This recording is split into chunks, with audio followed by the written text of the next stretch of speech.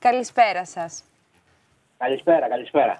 Να πούμε λίγο ε, αρχικά πώς ξεκίνησε ο άλλος άνθρωπος τις όμορφες δράσεις του; Ο άλλος άνθρωπος ξεκίνησε το ε, Δεκέμβριο του 2011. Η αφορμή ήταν ε, ένα περιστατικό το οποίο είδα εγώ σε μια λαϊκή στο Εγάλιο.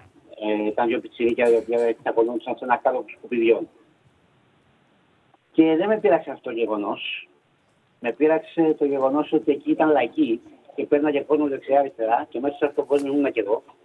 Και δεν κάναμε τίποτα γι' αυτό. Υπήρχε μια πλήρη διαφορία. Λοιπόν. Mm-hmm. Και με ενόχλησε πάρα πολύ αυτό που αποφάσισα να κάνω κάτι.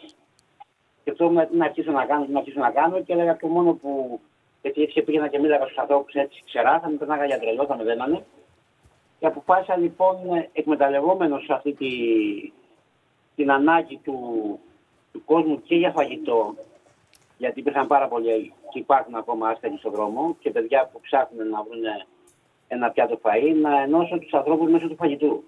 Είναι πολύ σημαντικό πάντως ε, αυτό που μας λέτε και στα πλάνα που μας έχετε στείλει βλέπουμε πολλά χέρια για καλό σκοπό. Βλέπουμε πολλά χέρια που μαγειρεύουν και μάλιστα ε, ε, έχετε και ανθρώπους που είναι γνωστοί στο κοινό που έρχονται έτσι όλοι μαζί για καλό σκοπό, όχι μόνο στην Αθήνα αλλά και σε άλλες πόλεις. Έτσι είναι, όπως αυτή τη στιγμή εγώ είμαι στο Ηράκλειο στην Κρήτη και ετοιμάζομαστε να μαγειρέψουμε αύριο.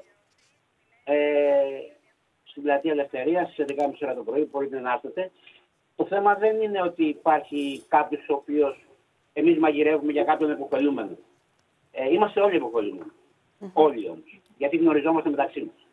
Αυτή είναι και η ιδέα του άλλου. Ταυτόχρονα βέβαια καλύψουμε, καλύπτουν και μια ανάγκη που τυχόν ε, άνθρωποι έχουν. Δηλαδή την ανάγκη του φαγητού. Η κοινωνική, η κοινωνική κουζίνα είναι, ε, μετρά 8 χρόνια αλληλεγγύης. Θέλω να μας πείτε πόσοι εθελοντές αυτή τη στιγμή μαγειρεύουν ε, για αυτή την ε, όμορφη έτσι, δράση και από πού προμηθεύεστε ε, τα τρόφιμα; Καταρχήν να πω ότι η κοινωνική κουζίνα είναι μια δράση που αφορά όλο τον κόσμο και όλους τους ανθρώπους. Ε, δεν αφορά μόνο ε, τους αστέγους ή αυτούς που μαγειρεύουν. Είμαστε περίπου σε όλη την Ελλάδα και δύο κουζίνες στο εξωτερικό που έχουμε, γύρω στους 150 με 200 άνθρωποι οι οποίοι το τρέχουμε αυτό.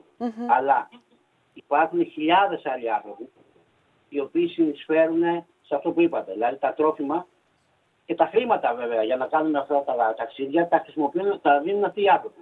Οι απλοί άνθρωποι. Άνθρωπος απλός για μένα είναι ένας που μένει στο δρόμο και ένας που μένει ο Τραμπ. Να πω, είναι, όταν έρθει στην κουζίνα είναι απλός άνθρωπος. Τρώμε όλοι.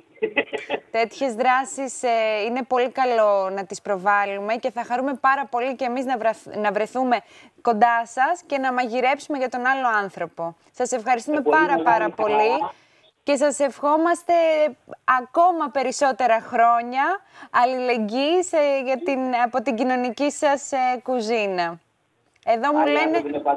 Μου λένε ότι θα κάνουμε όλοι μαζί ένα πολύ ωραίο παστίτσιο. Και όχι μόνο.